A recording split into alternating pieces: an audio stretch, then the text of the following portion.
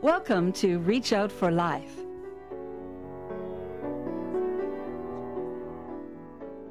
It is our goal to present a thoughtful and practical Christianity for today, which you can discover with your mind and live to the full with your life. And now, the host of Reach Out for Life, Dr. Larry Brice. Welcome to Reach Out for Life. I'm so glad you joined us. You know, the mainline traditional church in Canada has had a terrific history and influence on our nation. Our guest today is minister of one of the oldest and most beautiful Presbyterian churches in Toronto. Welcome to our program today, Will Ingram. Nice to be here. Will, you've been minister of a traditional church for a number of years. Tell me, what do you feel is the future of the more traditional mainline church in Canada? I think the place to start is probably by defining some of the terms that we're using even in that question. There's a difference between tradition and traditionalism, and I think that a lot of times those two uh, terms get, get used synonymously. Uh, traditionalism often is when a church or a person gets stuck at a moment in time, a moment in culture, and, and thinks that nothing should change from there. Whereas honoring tradition, I think, is about being in conversation with and in dialogue with our ancestors in the faith. Um, what excites me about being a part of the, the church is in its tradition is um, that we can be in conversation with those who have gone before us in faith. We have 2,000 years of Christian history. We have the Jewish faith, which even preceded that. And to be in a, a living and dynamic tradition allows us to be in conversation with those who've gone before us. Um, you and I are part of the, the Presbyterian Church, which is part of the Reformed tradition, and there are times when the Reformed and, and evangelical traditions can uh, use the term tradition in a very disparaging way. And, and our brothers and sisters in the Orthodox and in the Roman Catholic uh, churches have a higher view of what tradition means to them. Um, it, it, it, means something different from what you or I usually tend to, uh, to, to, to, use the term.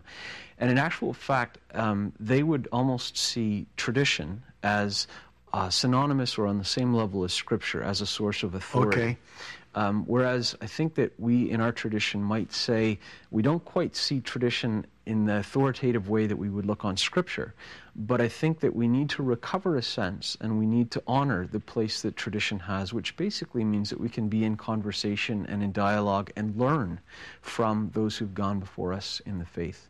The tendency in some modern movements of the Christian faith is to use the term tradition almost in a four-letter word sense. Mm-hmm. Like, you know, there, there is a lot of talk uh, uh, against or disparaging the traditional church. Yeah, and, and I think we need to probably move past that. I think that, that it's it's a label that doesn't help us, and in actual fact, some of those emerging churches and evangelical churches, in their theology, are very dependent on the tradition of the church, and, and maybe need to recover a sense mm-hmm. that terms like Trinity and mm-hmm. even Scripture itself, mm-hmm. it could be argued, is a gift to us from those who've gone before us. Very much faith. so, well, very much so.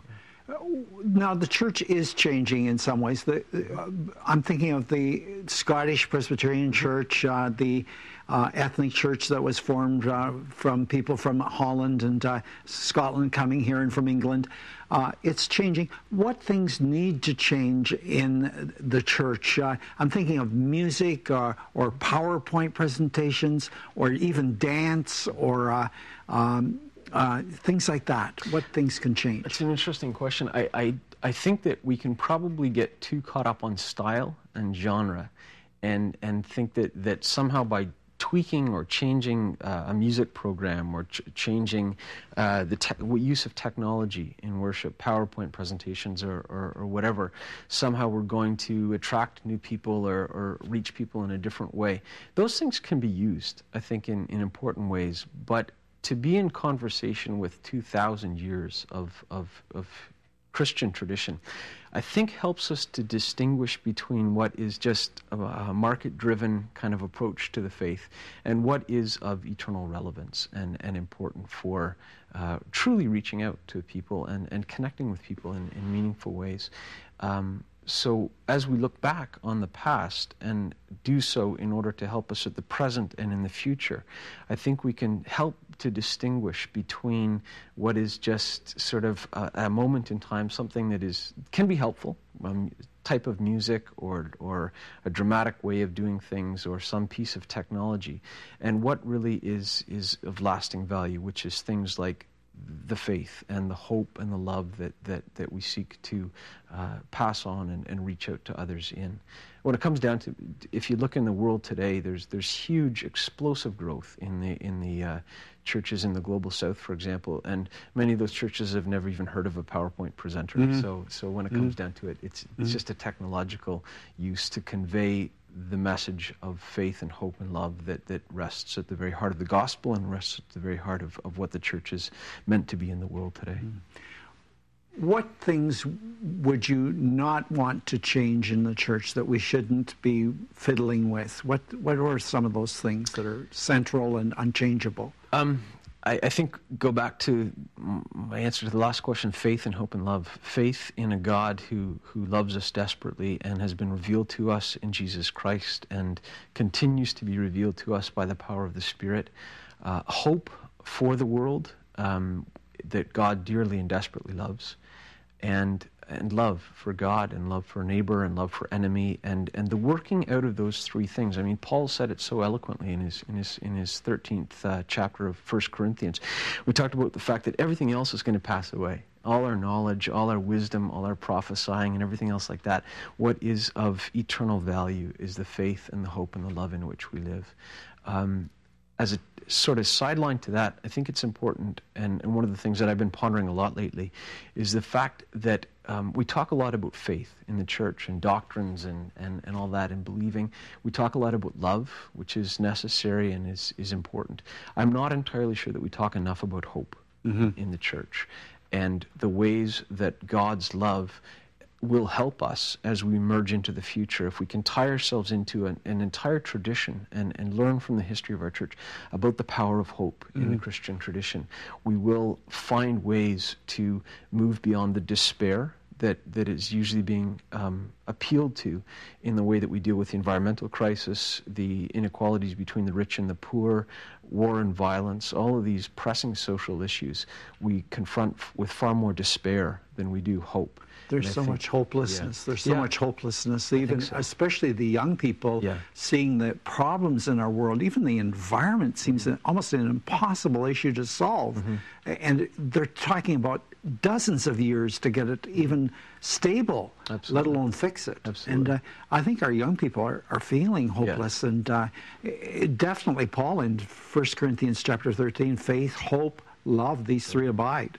Yeah. Uh, hope is really relevant. Well, at the center, and it's at the center of it all. And I think that uh, a true, a true proclamation of good news in the world doesn't put on rose-colored glasses on these issues. I mean, the environmental crisis is significant, but can we ourselves and can we help others to deal with these issues not with despair? and not with fear and not with guilt and not with fright, but with, with a, a confident hope that there is something that we can do to, uh, to, to, to make this world a, a, better place, which seems to me to be at the very heart of what Jesus was here to do, was mm-hmm. to save and to redeem and to transform this world. And, uh, and that to me is, is, a, is, a, is an expression of hope, if nothing else. What are a few of the important things the church can do to help reach our nation with the gospel?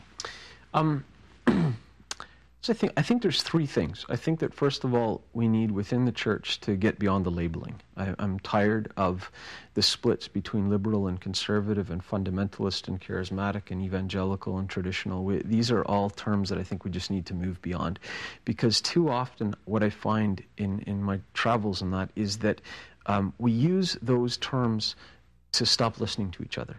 So once I've labeled you as a fundamentalist or as a liberal or as a conservative or as a charismatic, I no longer have to listen to what you have to say.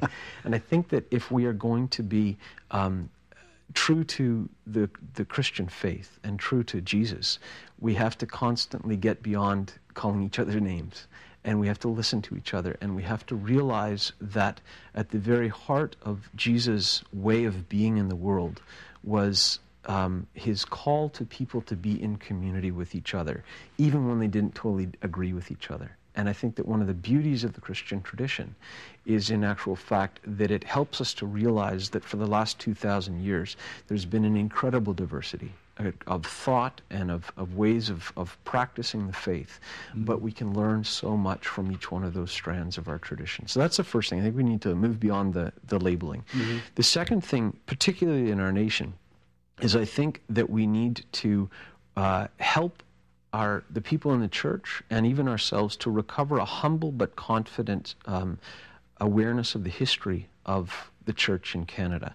Um, a few years ago, there was a, uh, a, history professor who was on sabbatical in Toronto and was worshiping with our congregation for a year. And he uh, would attend the Bible study class on Thursday nights every, every week. And, and constantly he would say to me, Will, you have to help people to understand the place that the church and the role that the church has played in, in the history of Canada. And he was talking about mainline, uh, sort of what some people, you know, disparagingly look at these days, mainline mm-hmm. churches. Mm-hmm. And he said, you know, were it not for the church, and this was not an appeal to some golden age of mm-hmm. Judeo Christian ethics or anything sure. like that. He was just simply saying that if it hadn't been for Christians and if it hadn't been for the church, most of the universities and most of the hospitals and most of the libraries and most of the educational systems and most of the, the philosophies underlying so many dimensions of our, our respect for tolerance and our respect for justice in this country, um, social assistance programs and, and all those things were in large part influenced in really beneficial and positive ways by, by the presence of the church and, and the Christian faith in our country. And so it's not a matter of being triumphalistic or arrogant, but just simply saying, um, in this era when so often organized religion is knocked and, and slammed in, in the public discourse, how do we find ways to stand up and say that the presence of the church and the presence of Christians in our country has had a very beneficial impact in mm-hmm. many ways. There's things that we need to apologize yeah. for, absolutely. Yeah. Yeah. So the first thing is is the getting beyond the labeling and the mm-hmm. polarization of mm-hmm. ourselves. Mm-hmm. The second is recovering a sense of our history. Mm-hmm. And I think the third way that I would say is to recover a sense that the gospel calls us into community. Mm-hmm. Um, in the latter half of the 20th century, there was a real movement um, particularly in sort of evangelical streams of Christianity, to overemphasize the personal relationship with Jesus Christ. That's absolutely important, no question about it. But to be called into a relationship with God through Christ also calls us into community with each other. Mm-hmm. It's not just about me and Jesus, mm-hmm. it's also about me and you and, mm-hmm. and the way that we come together. And if you look at the way that Jesus was in the world, what he constantly did was he didn't call each individual person just to be in relationship with him he called people into community and he brought people back in who had been marginalized and excluded and who had been treated with prejudice and intolerance in his in his time the poor and the dispossessed and the marginalized and the uh, women who and sick people and hungry people he said you know come, come back into community and mm. and i think we live in a time when for the density of population particularly in large urban centers, there's a lot of loneliness mm-hmm. in, our, mm-hmm. in, our, culture. Mm-hmm. And so, how do we in the church um, build places where people can come together beyond our differences, beyond, you know, honoring all the diversity mm-hmm. that is among us mm-hmm. and saying we can be together? How does the church bring young and old alike to saving faith in Jesus Christ? A theological answer. Or the yeah, church answer, a, the no, theological I, answer. I think a theological answer was the church doesn't bring anybody into a saving faith in Jesus Christ. Um, as I understand theology, that's the work of the Spirit. And, the work of the Holy Spirit. Yeah, and I think that, that perhaps what, what we, we need do, to do what can we do is point as witnesses to what has happened in us, and then in some ways get out of the way. and what I mean by that is I think that there's some people that are looking, they know there's something about Jesus that's really important, and, and, and yet, and then they sometimes see ways that we're acting as the church, and that gets in the way of, of them seeing Christ in, in the fullness of his, his joy and his glory and all that kind of stuff. And so they might look to Jesus and realize there's something about him that's really quite um, entrancing and enthralling. But then they see a church that's that's intolerant or exclusivistic or um, are, are, not living out the fullness of what it means to live in compassion and hope and love. And, and, and I think that what we need to do sometimes is, is to say, how do we, with greater humility? There's a beautiful line in one of the recent Presbyterian Church in Canada statements of faith that talks about the fact that we do not approach others in a spirit of arrogance, implying that we are better than they are, but rather as beggars telling other beggars where food can be found, we Amen. point to life in Christ. And Amen. There's something beautiful about that is, yeah. is that, that in a spirit of humility, I say, mm-hmm. you know, I'm not going to, um, you know, young or old or, or, or whatever mm-hmm. sort of category a person falls into. All I can say is there's something really joyful joyful and mm-hmm. fulfilling that I've found in Christ. And, and, I want you to be part of that, yeah. but, but I'm going to honor who you are and love you anyways. Amen. Amen. How can we reach the youth? It's kind of a different culture. It's kind of a different than what we came through. Well, I'm sure. older than you are, but maybe it was a different culture from yours altogether. But now the youth are, uh, they have their own music, their own games, their own movies. Uh, how do we reach them? I'm no expert on any of these things, but it would seem to me that, that what I've seen to be effective is um, an honoring of them as parts of the church now and not just the church of the future, which means that you have to allow them to, um, to know what's going on.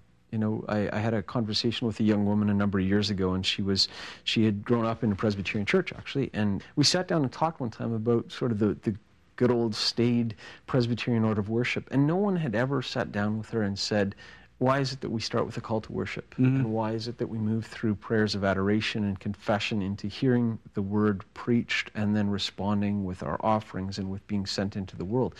And in actual fact, that, that movement through worship, as it's ordered in many traditions, is actually a beautiful mirroring of the soul and its relationship with God and she'd never had a chance to to have the the conversation about why we do the things that we do the way mm-hmm. that we do them. And mm-hmm. I think sometimes that's one way to start is to, to allow um, ourselves and young people to, to be in conversation at that level.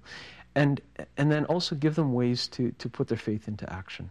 We all need it, but mm-hmm. but you know, faith without works is dead. Mm-hmm. And and I do think that that so often particularly in the teenage years, to, to allow them to experience whether it is uh, some compassionate act of service or visiting with an elderly person in a, in a hospital room and helping them then to, to reflect on that theologically and say, what is the connection between helping in that homeless shelter and, and, and your faith in Christ? Mm-hmm. And, and so I think for all of us, it's necessary mm-hmm. to have those, those ways of, of acting on our faith but particularly for young people, I think, mm. um, because oftentimes if you talk to young people, um, the the most important moments in the development of their faith are tied to moments when they themselves have participated in ministry. The decision to allow God's grace to be at work in a person's life has transforming results. There's no question and the the ability to to be a participant in a community in this world that is, I think, in history, the most compassionate force for, for goodness and for uh, for human rights and for dignity and for respect. Um, I love the church. I see its flaws, I see its failures, but um, I love the church and I love what it stands for. I love the hope that stands at its very heart. And I think that to be a part of that church to me is an exciting and a, and a wonderful way to live out my days on this earth. And I would invite anyone to, uh, to be a part of it and to, to, to make a difference where it is failing and to participate in it where it's doing good. Well, I know you love the Lord and a faith like that is contagious. Thanks for being our guest today. here. God bless you well. Thank you. Coming up, our address, so you can write to us for your own copy of the book offered today to help you grow in your faith. And now, back to our host, Dr. Larry Brice. I'm sure you could tell that the Reverend Will Ingram just loves the more traditional part of the Christian church. I want to tell you something that Will has just been called to the oldest and most beautiful Presbyterian church in all of Toronto, maybe all of Canada. He can do a great deal of good there, and uh, it's located right in the theater district of downtown Toronto beside Roy Thomson Hall uh, near Princess of Wales Theatre. Will believes passionately in the more traditional part of the Christian church. We must remember our church history that the traditional churches had got great roots in our Canadian culture and uh, a, a great history, a great legacy, not only in this nation but in the world. There is a verse in the Christian Bible, in the book of Hebrews, that uh, we should listen to because it tells us that the Christian church is much more than simply the local church that we sometimes see or attend. And it says this in the book of Hebrews Therefore, since we are surrounded by such a great cloud of witnesses, let us run with perseverance the race that is set before us. That's found in Hebrews 12, verse 1. And that refers to the great church, not just on earth, all over the earth, but the great church that is also in heaven. I told the story about Bishop Moussa of the Coptic Orthodox Church in Egypt. Now, Bishop Moussa began his career as a medical doctor, and after a while, he was called of God to become a priest in the Orthodox Church. Soon he was ordained a bishop and requested the um, leader, the patriarch of the Orthodox Church, to appoint him as bishop of the youth in the world of the Coptic Orthodox Church. And uh, Bishop Moussa made it clear that when he's talking with youth around the world, he wants them to know that they are part of a great, great worldwide church that exists not only on earth, but in heaven that we are surrounded by such a cloud of witnesses, an unnumbered host in heaven, and many billions on earth. Um, especially in Egypt, where Bishop Moussa has his office, uh, they uh, Christians there are a very small minority, only 8% of the population, whereas 90% of the population is Muslim. And it's most important where Christians feel completely isolated and alone, that they realize they're part of a worldwide and historic heavenly church. There are almost 2 billion Christians in the world today and a countless host of believers in heaven. And as it says in Hebrews, we are surrounded by a great host of believers. I want to give you an illustration of how alone sometimes we feel. There's the true story, as far as I know, it's a true story of a missionary couple who spent their lifetime in Africa on the mission field, serving Christ faithfully. And when they retired, they decided to go. They decided to go home to New York City, where they lived as a young couple. And when they got home at the downtown airport in New York, there was a great crowd that gathered there, a huge crowd with television cameras and the press with flashbulbs flashing, popping all over the, the crowd. And there were some young men with long hair getting off the airplane, and people were taking pictures of them. And they asked someone in the crowd, well, What is all this for? What, why this crowd today? And they said, Oh, this is the Beatles from England. This is their first journey to New York City, and they'll be on the Ed Sullivan show tomorrow night. And uh, soon the four young men disappeared out the gateway of the terminal and the crowd with them. And the missionary couple were quite alone. And they realized that no one from their church was there to welcome them home. But they thought, well, maybe they're at their apartment. Maybe they're waiting there to welcome us home. And they traveled across the city by taxi and went up to open the door of their apartment. And when they got inside, there was no one no one there to welcome them home after a lifetime of ministry in the name of Jesus overseas. The one missionary, she had tears in her eyes. And her husband looked at her and he says, You know, dear, we're back to New York, but we're not home yet. There is a great host of witnesses in heaven surrounding us. The traditional church is not just here on earth today, but we are surrounded by a great cloud of witnesses where someday we'll go home. The church is great in heaven and on earth. And we have to remember the Christian church didn't start with evangelicals having contemporary worship uh, in the last 50 years, or with the Pentecostal services of the last 100 years, or even the Reformed churches of the last 500 years. The church is rich with music and art and theological thought over 2,000 years. And uh, that church has great vitality to serve Christ as long as they're faithful to the historic gospel. And what is that enduring message of the great, great church that God has given to the earth? And it could never be expressed in any better way than what we find in John 3:16 in the Christian Bible. And it says there, "For God so loved the world that he gave his one and only son, that whosoever believes in him shall not perish, but have everlasting life." Friends, that is the gospel, the historic message of the historic church from all ages. And as a minister of that great church, I invite you to receive God's matchless gift of Jesus Christ, promised in John 3:16. Do that now. Let us pray. Lord Jesus Christ, I receive you. I receive your payment for my sin. I receive your gift of forgiveness. I receive your mercy and your love and your gift of eternal life.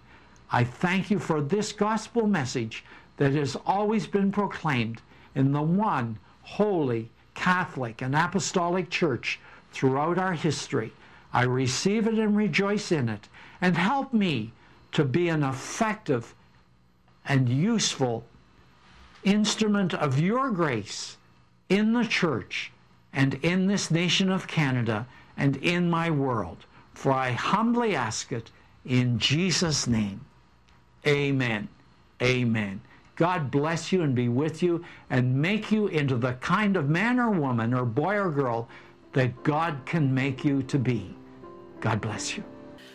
Write to us today for your own copy of Dr. Larry Brice's new book, Confident Faith in a World That Wants to Believe. This book demonstrates that you can find a confident faith in God from the study of the natural world that God has created, as well as reliable evidence for God revealed in the Bible and in Jesus Christ.